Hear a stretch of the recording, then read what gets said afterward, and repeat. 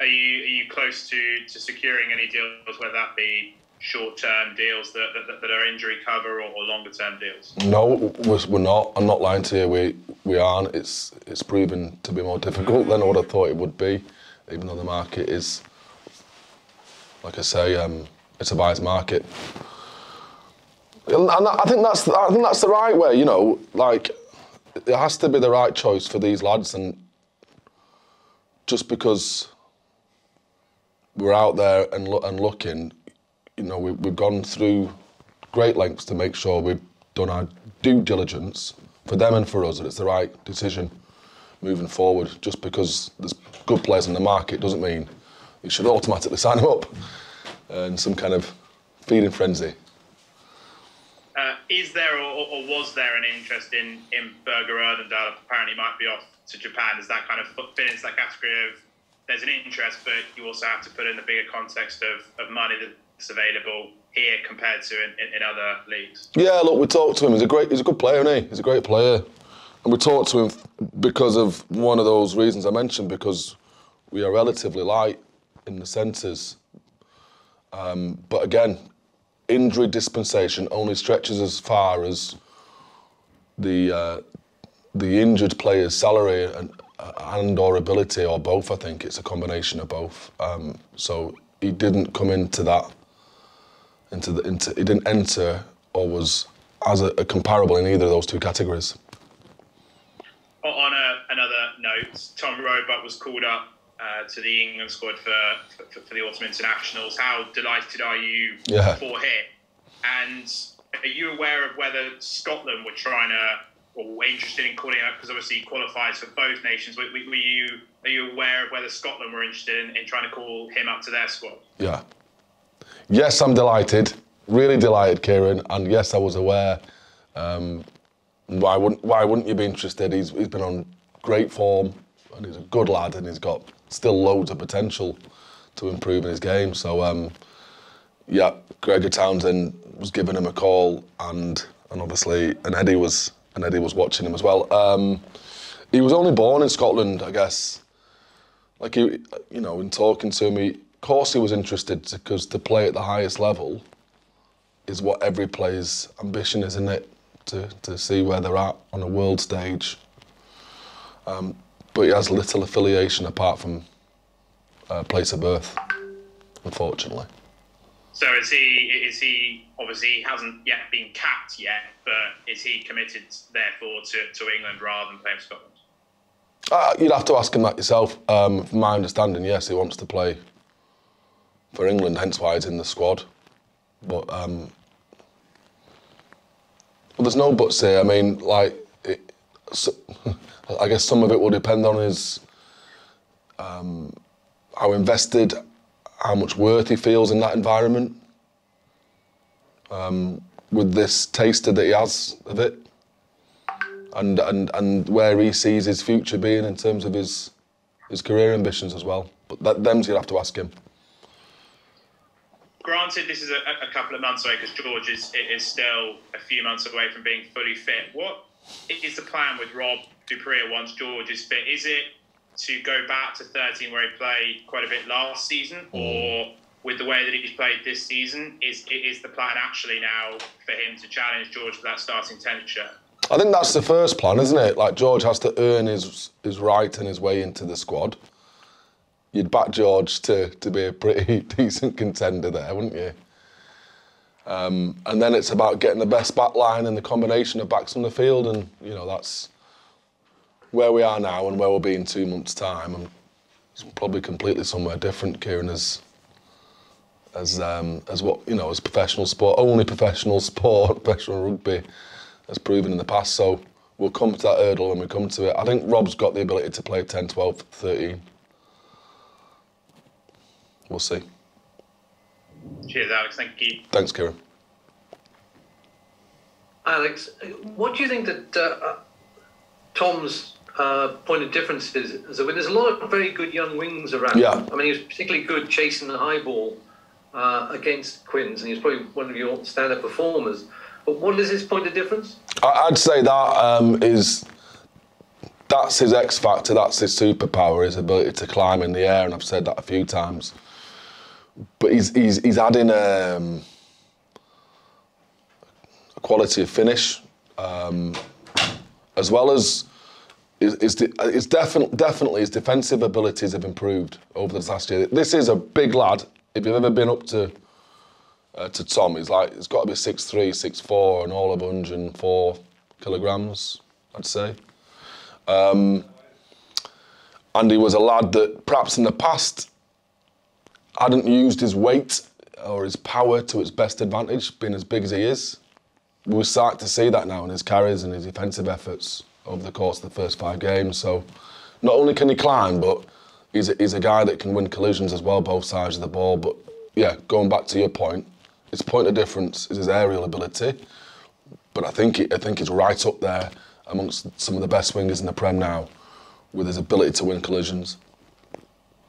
Did Gregor actually contact you at all, just to get a, a lowdown on this? Yeah, they all do. Yeah, look, it's really humbling. That really nice. I mean, I don't get it for long. He's a bit overqualified for Scotland. He was born there. They're yours, Chris, not mine. So did, did, did you? Was it some time ago? You, Gregor asked about him, or was it just this season? Because he, he burst onto the scene with six and six, didn't he? Um, yeah, the, the, yeah, I don't know at what point he came onto their radar, but like with him and Reedy playing so well at the start of the season, we're like, surely they're watching him because they're both qualify for Scotland. And then, you know, when you start talking about it and the whispers start circulating, all of a sudden the phone goes. It's a, it's like a, believe it and the universe will deliver it kind of thing, isn't it? For us, anyway, it happened around the same time because of the form. Um, yeah, um, and and it's always obviously preceding when they call the, the squads for selection, they're the training squads, and and he asked a few things about him. We had the forwards coach, John, come in, get his second name, John, came in to speak to um, Ewan Ashman, and that was about three weeks ago. Lovely fella though, we, and we shared, we had some good sharing in terms of rugby. And on the back of that, he was asking about Tom as well, um, what kind of a bloke he is and stuff. And so there's always there's always like constant communication with one or a few of the coaches from different national teams. So it's not unusual that you'll get contacted about uh, these young lads and, and where they're at and how they're getting on.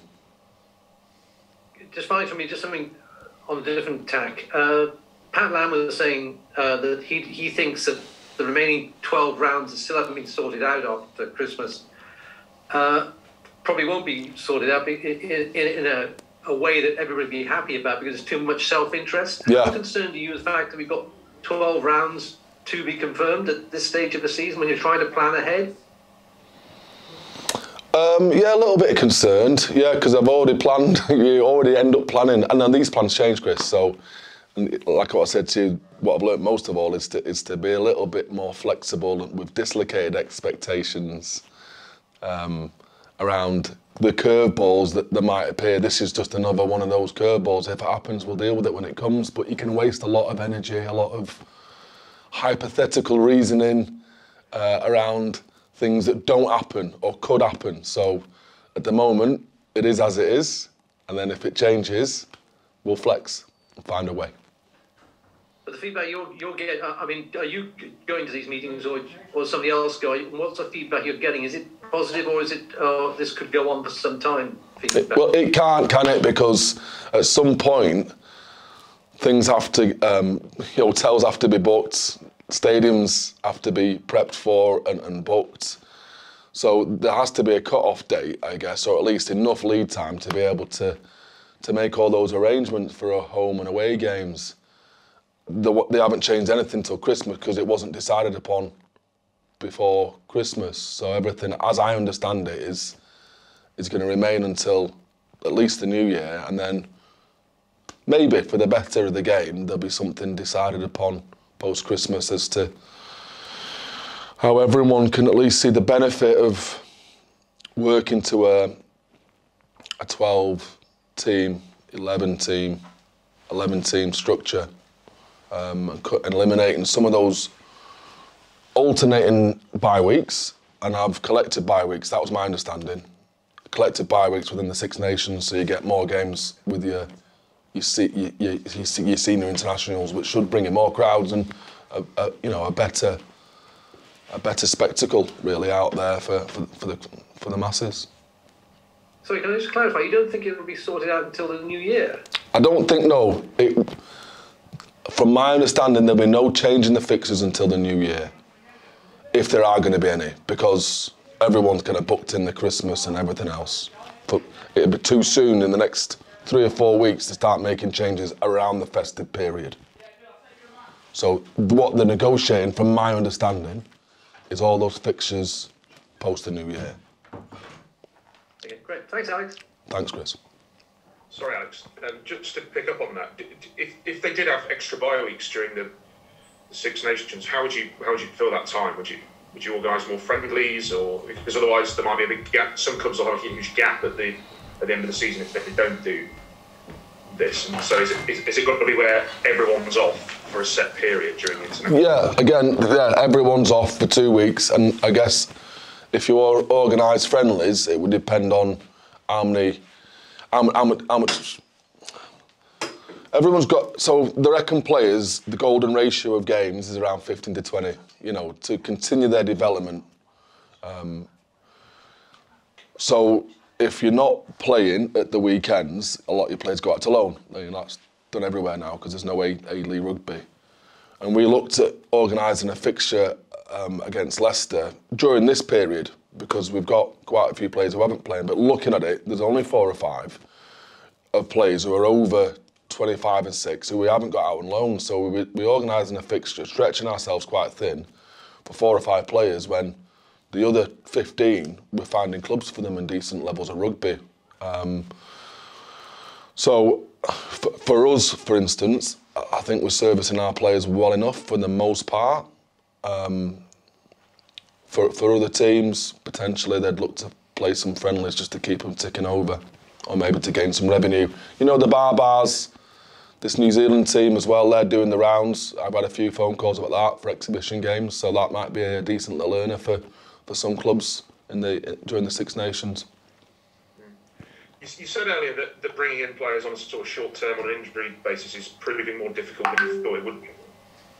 Why is that? Can you, can you expand it a little bit? Well, there's only a certain amount of money you can give them, um, according to dispensation. Um, and who wants to sign, if you've got anything about you, for a, in this climate, on a short-term contract? You know, people want and need security, so I get that as well. So it's, is therefore is a player who would sort of compromise and take a short term contract, is he less attractive? Are they less attractive to you? Do you think that they don't have the requisite ambition that you're after? Is that what? No, we're just, it's just salary cap.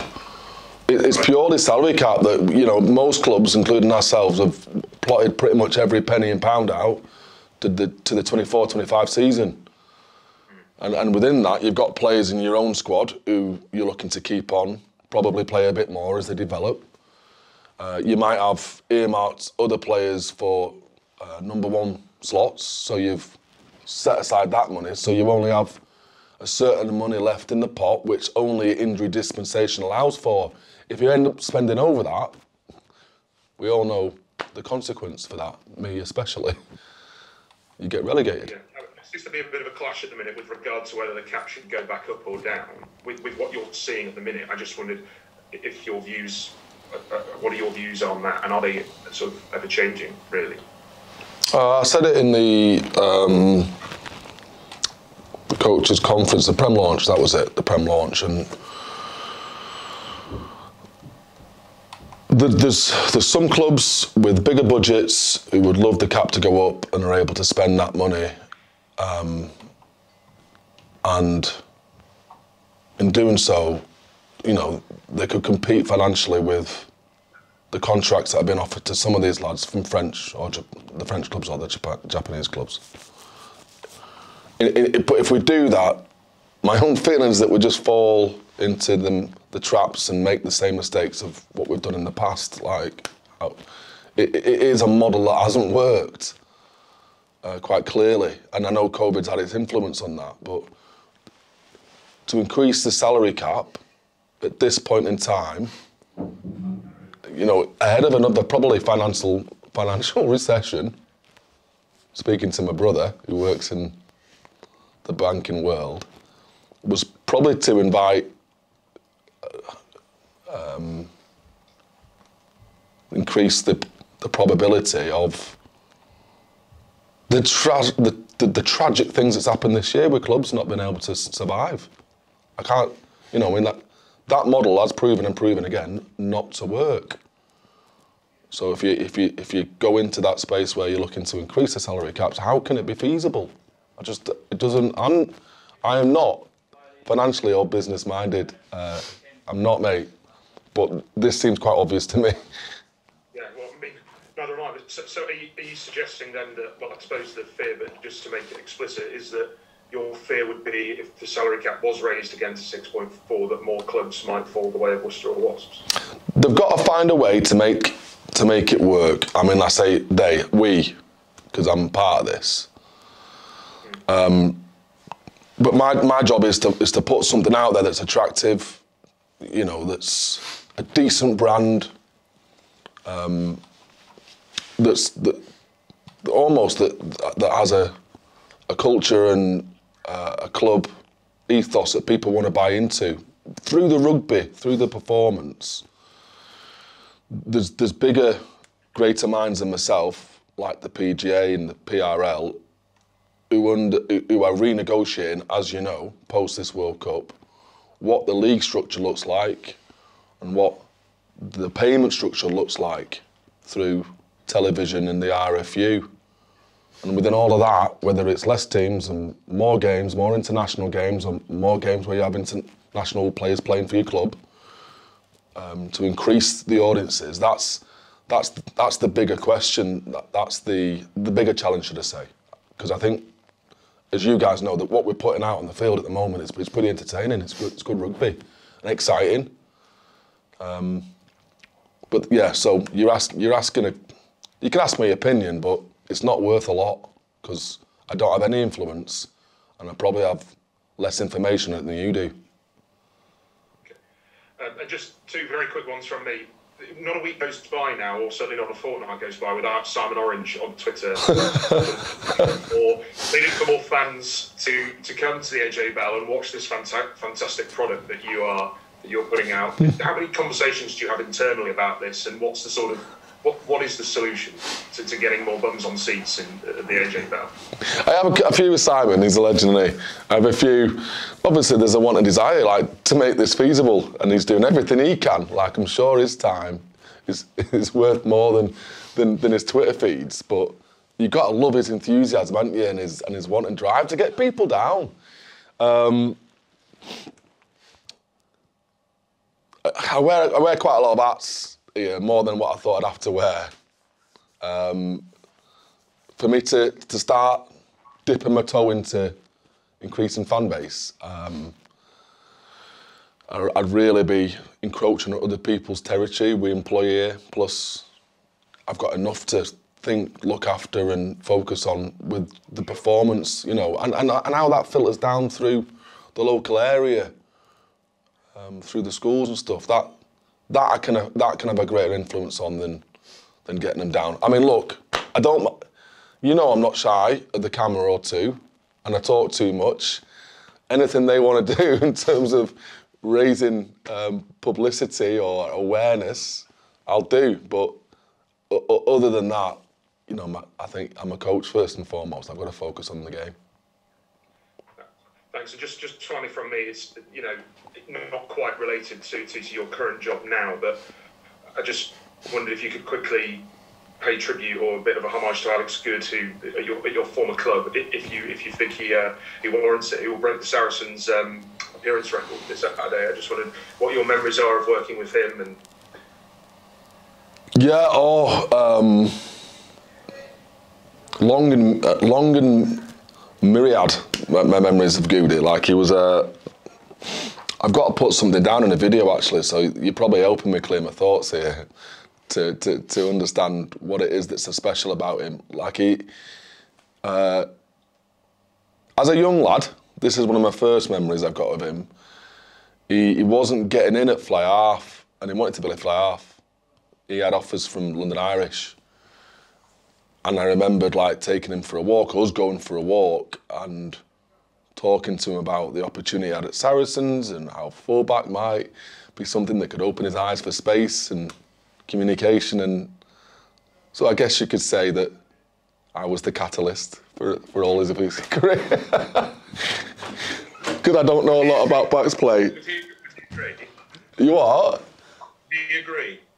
What do you agree? No, you can ask him though. Alex Sanderson says he's the catalyst for you your, your fullback career. See what he says. He'll probably tell you where to go. Um, but that wasn't one of the uh, earliest, and and then certainly, obviously since then I became a decent friend, and we knocked around as a young coach, and he was a young lad, and had a few beers, and slowly you grow older, and you and you estrange yourself, and you and you find different paths and stuff. But I've always him and his family. He used to come and have picnics when he was playing after England and after the finals with, with my mum and dad in, in, in the uh, in the Twickenham car park. A lot of like it generally is memories of people you've spent 10, 12 years with aren't around the training field, aren't after the games. It, it, it's been it's been the beer and not just the beer, but the words over the beer and uh, and and the chats at the end of the bar, which you tend to hold on to a, a bit longer. And, and as well, as well, you know, like he's he's not shy of that either, is he? Like from some of his tweets of Mad Monday celebrations.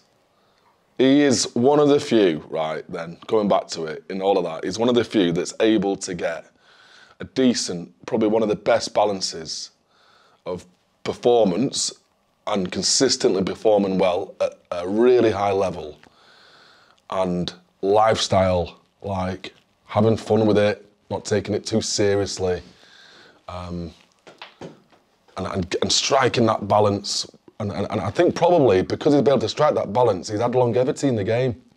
So that and his the fact he's contact shy, he he, he, um, he hasn't burnt out.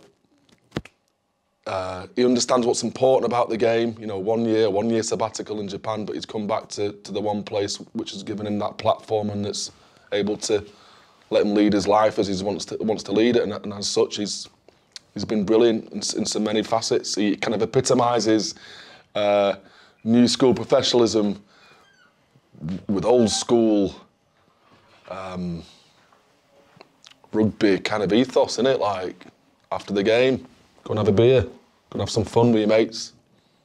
Turn up Monday and crack on. No, I've got a lot of time for him for everything he's about. Thanks, Alex. Cheers, Sally. Any more for any more? Sorry, there. You, had the Argentinians in there. He's in Carrington there for the, three days this week. Can you just give me some feedback on what insight you, gleaned from around? Did you, did you train down any Did you, did you have a chat with Michael Cheika? I don't know what down. I missed Michael. I missed Michael. He was in yesterday, and I was.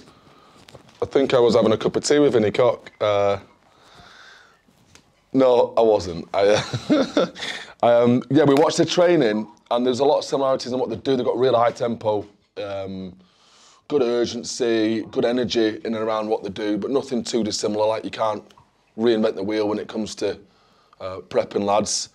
Uh, they're very open, quite, quite an open environment. Um, so we had a, good, a good chat with, with Felipe Contepomi and um, Lobbe. Uh, Juan was back in the building, who you know was one of our of the legends that played here for, for quite a while. So it was, it, was a, it was a good way to start the relationship. And then obviously we had a unit session with a, a full live scrum more session today against them, of which the lads were a little bit nervy because we've got a game, they don't have a game. They're battling for, for spots in, this, in the next internationals. Um, and and their international team, you know, to, to, to go against an international team in, in the midweek could be considered potentially uh, risky by way of injuries uh, and, and, how it, and how it has happened in the past because you probably heard some some rumours. Um, anyway, so it was nothing of the sort. There was it was a session conducted with the utmost respect from both sides. You know, there was no like cheering and celebrating if one side got a decent outcome from a maul or a scrum. There was really good sharing post the session as to what they felt, uh, what we felt. Um, so in, invaluable, really. And, and, and they changed their session, weekly session plan around so they could accommodate us for our set piece today. So I've only, I've only really got positive things to say about the Pumas, um, the coaches, and, and how the lads conducted themselves today uh, in, in that live session. Okay, that's a very mature way turnout, so to speak. I mean, there's been previous instances where like the teams have met up for for scrum sessions and stuff like that in the, in the middle of a week, and the things have gone a bit awry with one or two people there having a bit, of, bit, of, bit of temperament and stuff like that. So you did well there, given. given what you said. Well, that's what I was alluding to, Liam. You know, without actually drawing on past examples where I probably get myself in trouble. Uh, look, the RFU were good as well. They sent a referee down, Adam Leach from the Isle of Wight. He drove up from the Isle of Wight for his experience and to make sure the session was was, was conducted in the right way. So really grateful for that as well. And yeah, so it, it was a, it was a good experience for us.